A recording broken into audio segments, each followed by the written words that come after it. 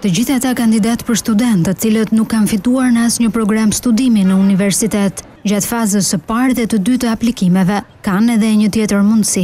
Të martën ka nisur një raund i tretë regjistrimesh, që do të zgjasë deri më trembëdhjetë tetor.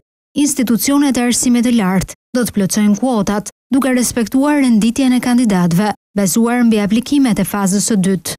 Ndryshe nga viti i shkuar akademik, kur Ministrisë së Arsimit iu desh të gjente një zgjidhje në minutën e fundit, pasi shumë programe studimi mbetën bosh edhe pas dy raunde regjistrimesh, këtë vit plotësimi i kuotave është parashikuar me udhëzim të posaçëm të ministres Lindita Nikolla që në nisje të procesit të aplikimit për në universitet.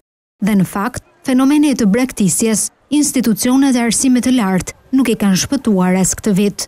Nga një kërkim i thjeshtë në portalin U-Albania, vërejmë se në gjashtëmbëdhjetë degë të universiteteve në rrethe, nuk është regjistruar asnjë student, ndonëse janë ezauruar dy fazat e para të procesit.